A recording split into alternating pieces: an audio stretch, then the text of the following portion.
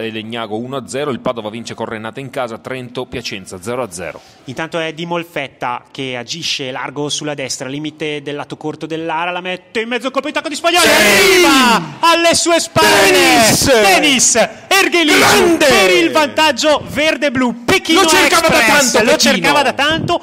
L'aveva sfiorato in più occasioni. Felicissimi per lui. Oggi è arrivato quando siamo giunti al ventesimo minuto e 45 secondi. Il vantaggio verde-blu che sradica la difesa del Fiorenzuola con una bellissima azione di Molfetta, largo sulla destra, la mette in mezzo, il mezzo velo di Spagno che riesce anche a toccarla. Si è provato addirittura il di tacco, fuori. Carrara ecco Dimmo che prova lui, anzi no, nello Lascia schema. Carraro di Molfetta si Bello. butta sul lato corto, riserva ancora dietro Carraro, sguarda al centro, parte il traversone del colpo di testa e il raddoppio dei Leoni Sì, di Piana, sì! proprio lui, il toro di Pordenone, per il raddoppio verde-blu, bellissimo il suo tocco di testa sul- sulla palla al bacio come al solito del nostro Fantastico, joystick Nick. Federico Carraro.